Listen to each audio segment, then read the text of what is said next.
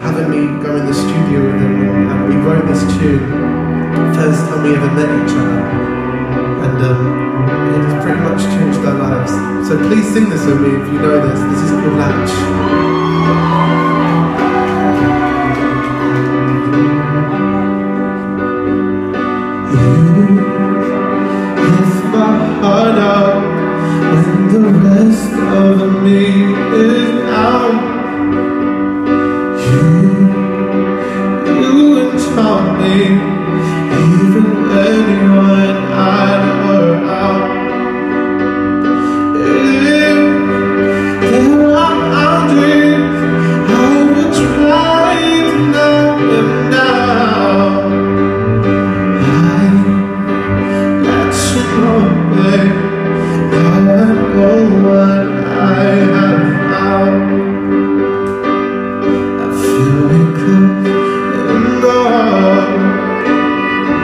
Remember